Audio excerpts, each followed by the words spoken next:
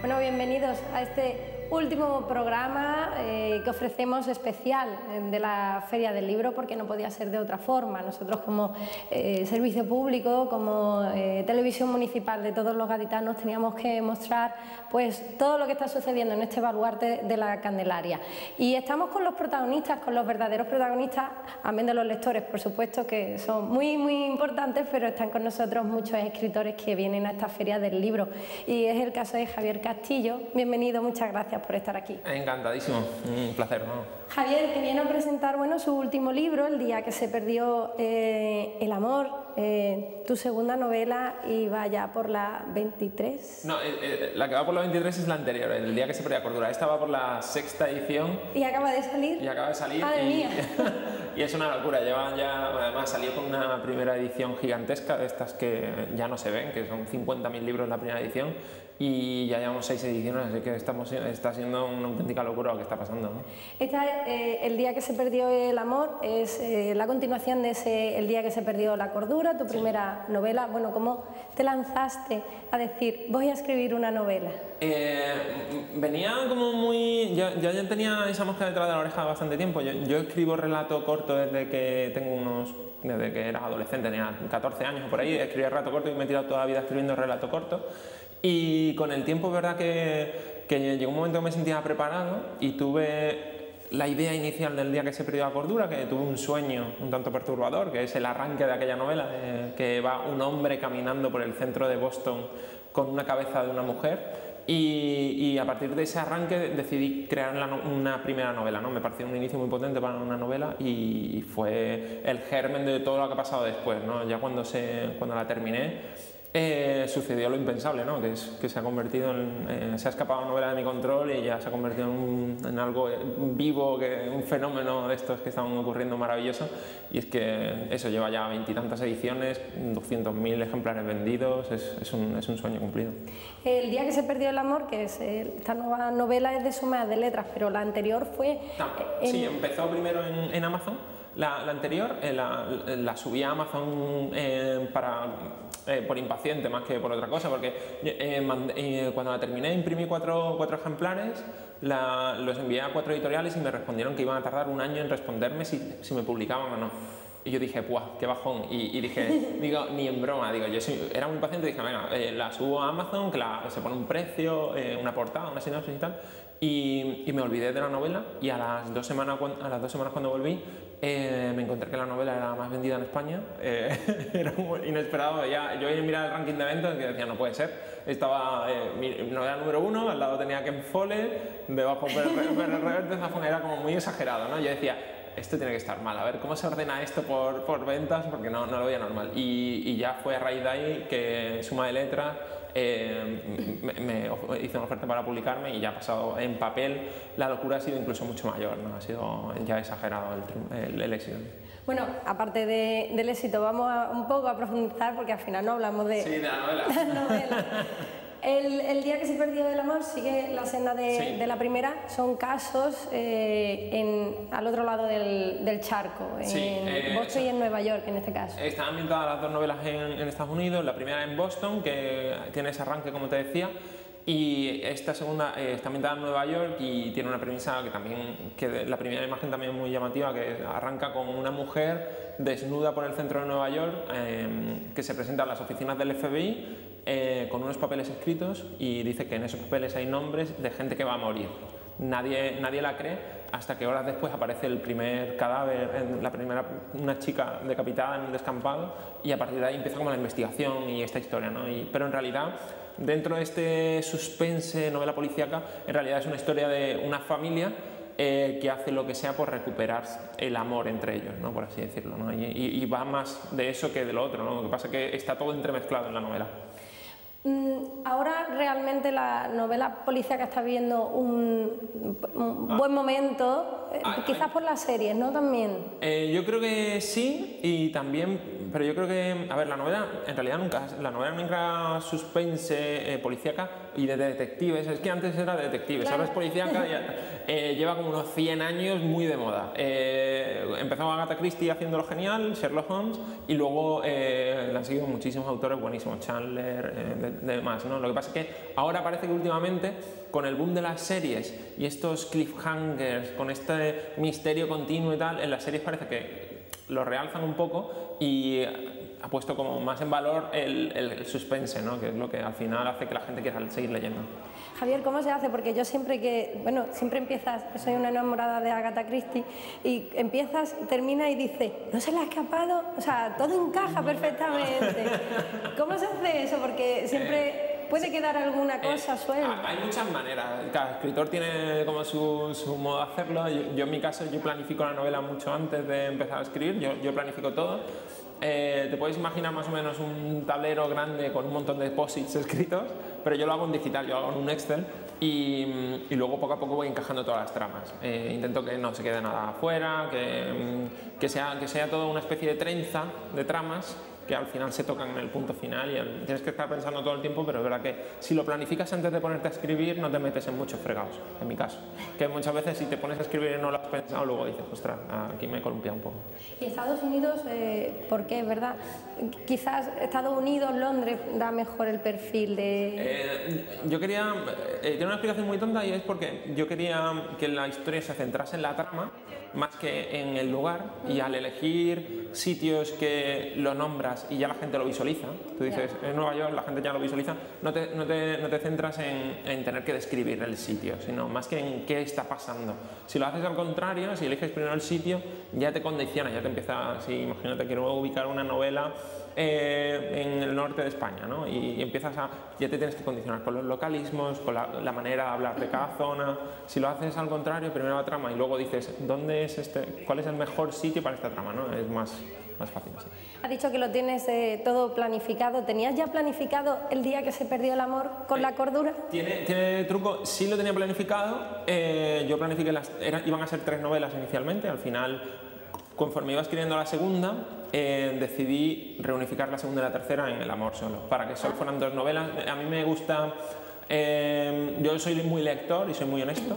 Y yo lo que más me fastidia como lector es que me alarguen las cosas innecesariamente. Me- que me vayan. Que me- "Buah, otra vez me tengo que comprar otro libro para enterarme del final. ¿no? Y, y con- cuando iba escribiendo El amor, me di cuenta de que podía terminar la novela en solo en una novela más, en El amor. Y reunifiqué la, la trama de esta y la siguiente en una. Y manteni- manteniendo sobre todo el ritmo de la primera, que es lo que más me obsesionaba a mí. ¿Y tienes pensado ya... o sí- Otra novela distinta. Ya no tiene nada que ver con ni el amor, ni, la- ni el día que se perdió, tal. Pero sí es verdad que eh, me dicen mucho, ¿vas a escribir ahora el día que se perdió la vergüenza? No, no. No, eh, Que podríamos escribir podría- mucho. Podríamos escribir muchísimo sobre eso. Yo creo que, y además sería un- un- un título tremendo. sería un título tremendo. Eh, no, pero estoy escribiendo otras novelas y verdad que eh, de suspense comparte género, pero ya no tiene nada que ver con esta historia, ¿no? Ya he terminado la historia familiar de las dos novelas, ya está terminada ahí y ahora estoy escribiendo otra cosa distinta que, que también comparte ese suspense y ese ritmo que tienen las dos.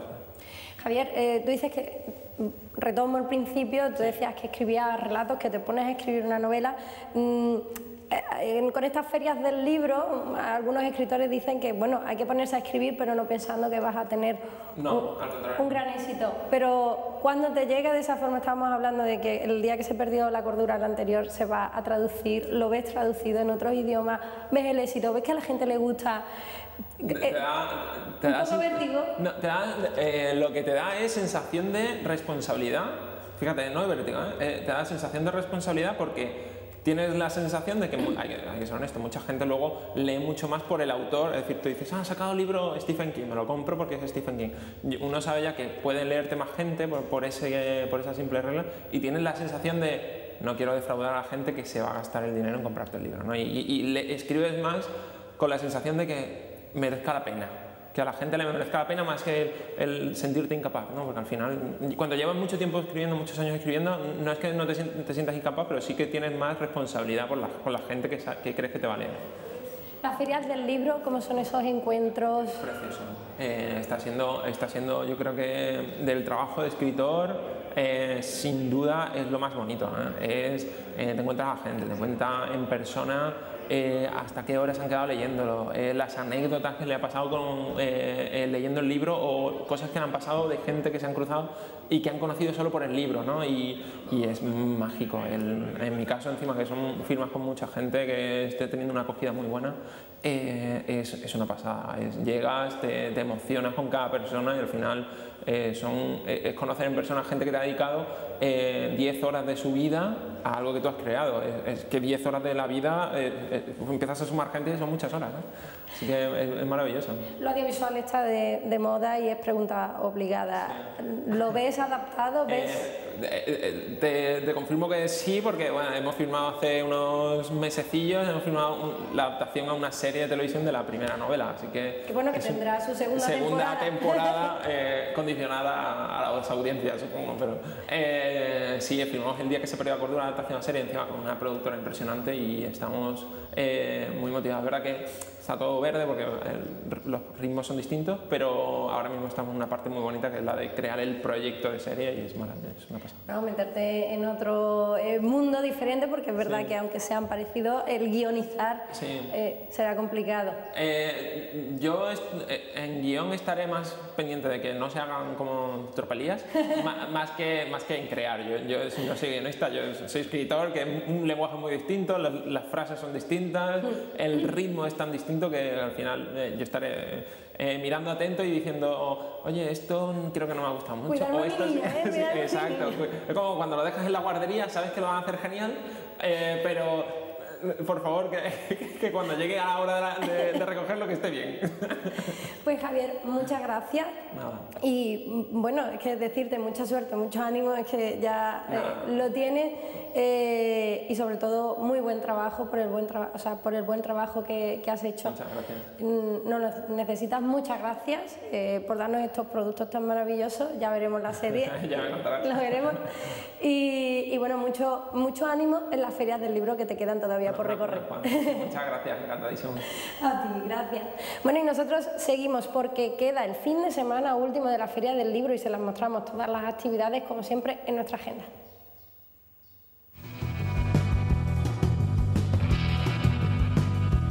La red de bibliotecas municipales dispone de un amplio catálogo, pero no todo el mundo puede acercarse en persona a estas estanterías y disfrutar de mil y una aventuras. Ahora las bibliotecas de Cádiz se las pueden acercar a casa.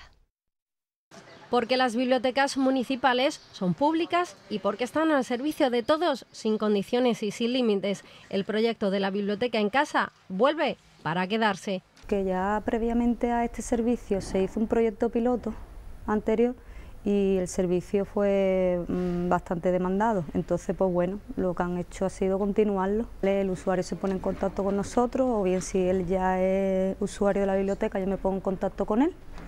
Y, bueno, se le llevan los libros que bien él por la página web ha, decidido, material audiovisual que él quiere, que él quiere ver y luego pues se le lleva a su casa. María es la encargada de recepcionar los pedidos de todos aquellos inscritos en este programa, que cada vez son más. Puede ser una petición de un título en concreto, pero también se puede pedir recomendación, todo para seguir disfrutando de los fondos municipales, aunque no se pueda salir de casa. Y la mayoría de los usuarios se encuentran bastante receptivos y contentos, mm, sobre todo por el hecho porque muchos apenas salen de casa y entonces, pues bueno, eh, el hecho ya de la visita y, tener un servicio que le proporcione un libro que estaba buscando, que muchas veces el libro no lo tenemos aquí, lo pedimos a otra biblioteca y lo traen.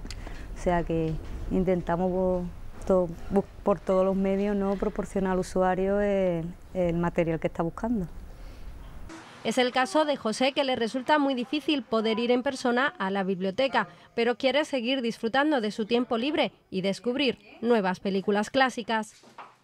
Mm, yo hasta ahora pues, no he conocido el servicio de este domicilio y claro, ya me han servido dos o tres veces y es bastante bueno y eficaz, por cierto.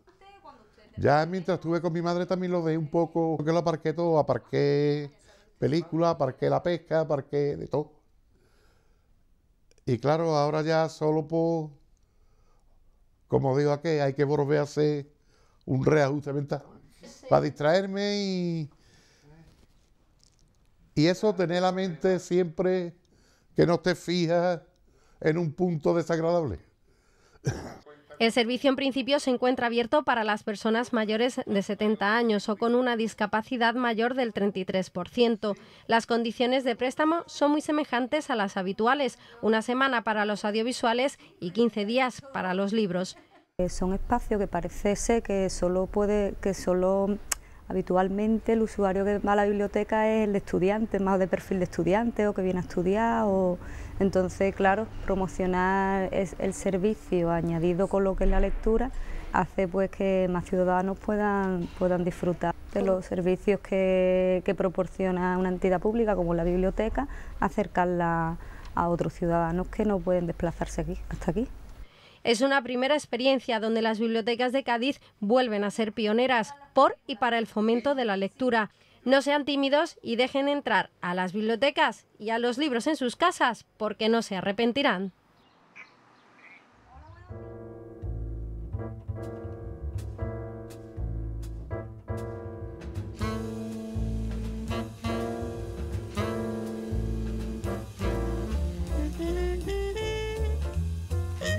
Bienvenidos a Quorum Libros, bienvenidos a este recorrido mensual que hacemos por aquellos libros más deseados, más demandados por nuestros amigos y, lectores. En el campo de los libros de no ficción tenemos que volver a mencionar este mes a Las hijas del capitán, de María Dueñas. Ya os hablamos de este libro el mes pasado, yo recuerdo que es la historia de tres mujeres que, bueno, se enfrentan al destino, tres mujeres con mucha energía, en una historia ambientada en el Nueva York de los años 30, en la colonia española que habitaba aquella ciudad, María Dueña y las hijas del capitán. En este mes quisiera hablar también de El relojero de la Puerta del Sol, de Emilio Lara. Es un libro que sin ser una novedad ha sido muy demandado por nuestros lectores, ya que recordemos que Emilio Lara estuvo en nuestra ciudad el mes pasado. Tuvo una gran afluencia de, público la presentación de, de, su libro. El relojero de la Puerta del Sol es una novela histórica basada en un personaje absolutamente real y un personaje fascinante que es José Rodríguez Lozada, el relojero al que hace alusión el título del libro. Y eh, José Rodríguez Lozada es un, progresista, es un liberal que tiene que abandonar la terrible España del siglo XIX de Fernando VII para emigrar a Londres. Ahí empieza como mozo de limpieza en una relojería hasta aprender el oficio y llegar a ser, pues bueno, el constructor del actual reloj de la Puerta del Sol y no solo eso, sino a ser quien eh, dio eh, la gran última, el que hizo la gran última actualización del Big Ben de Londres, de manera que eh, el desarrollo, el trabajo actual del reloj y como lo conocemos, ese Big Ben es obra de José Rodríguez Lozada.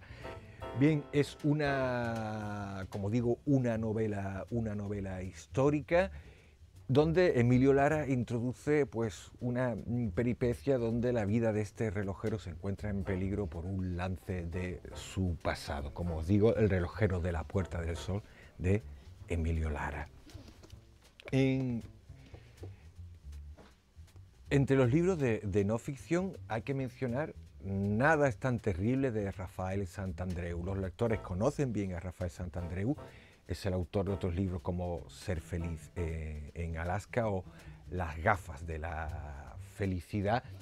Hay que decir que es un, libro para, como el autor habla de transformación personal, de una motivación emocional.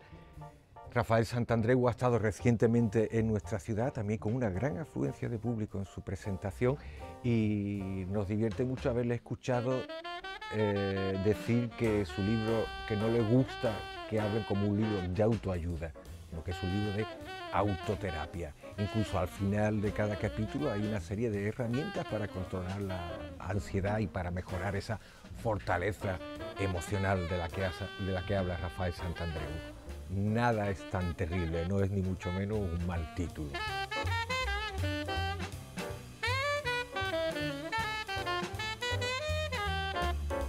Sabéis que en nuestra librería le prestamos mucha atención al, cómic, al libro ilustrado, a lo que ahora se llama novela gráfica, porque reconocemos que es un momento brillante y dulce de esa, de esa producción y nosotros tenemos debilidad por eso.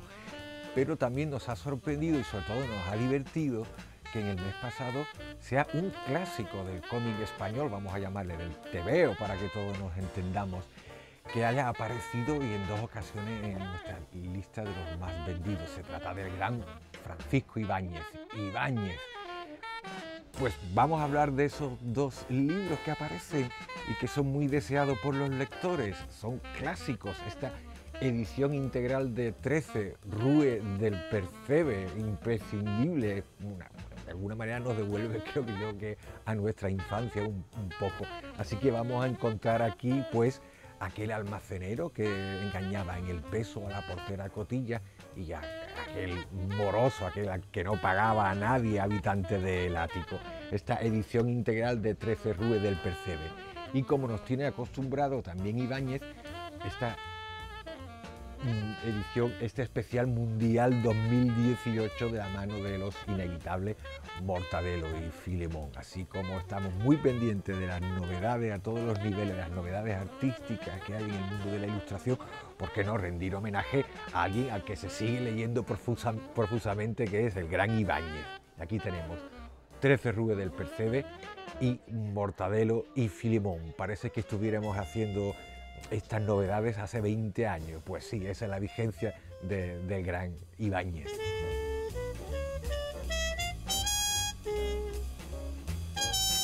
Y el libro, el libro que os, queríamos, que os queremos recomendar este mes es un libro que nos ha gustado mucho, es una novedad y que estamos esperando desde hace tiempo. Se trata de Un paseo por la vida de Simón de Beauvoir, de Carmen G de la cueva. Eh, se trata de, bueno, Simón de Beauvoir, posiblemente una de las voces feministas o la voz feminista más importante del siglo XX, azote del patriarcado, del machismo, de lo más retrógrado de nuestra sociedad. Como ejemplo, recordemos que su libro El segundo sexo estuvo incluido en el índice de libros prohibidos del Vaticano. Bien, no se trata de una biografía al uso porque no vamos a encontrar una profusión de datos sobre la biografiada, sino que es, como muy bien indica el libro, un paseo. De manera que la autora lo que hace es acercarse o pretender iluminar algunos de esos rincones más oscuros de la vida de esta gran pensadora como es Simone de Beauvoir. Se trata de un libro ilustrado por oh, por Malota, Mar Hernández, que tanto nos gusta, de manera que esta es nuestra recomendación de este mes, un paseo por la vida de Simón del Beauvoir, de Carmen G. de la Cueva, ilustrado por Malota.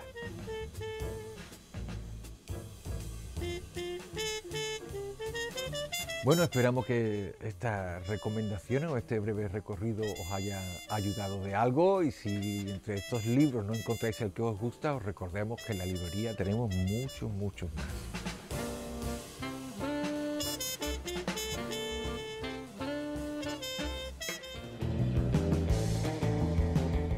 Comenzamos el ranking de este mes con novedades en ficción aunque María Dueñas vuelve con Las hijas del capitán y se coloca en primer lugar en los libros más vendidos.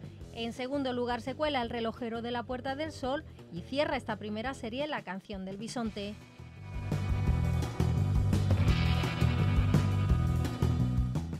En cuanto a los libros de no ficción, Nada es tan terrible de Rafael Santandreu alcanza el primer puesto.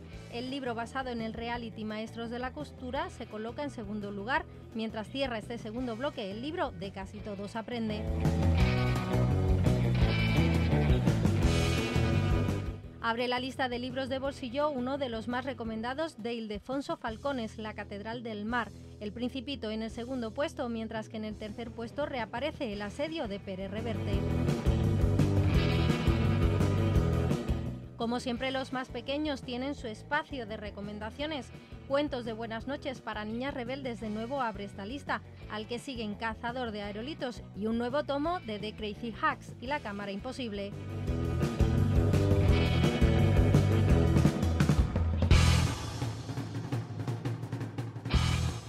Y en las novelas gráficas y cómics destaca el manual de cómo dibujar kawaii, al que siguen idiotizadas de moderna de pueblo y magos del humor, el Mundial 2018, que cierra este ranking de mayo.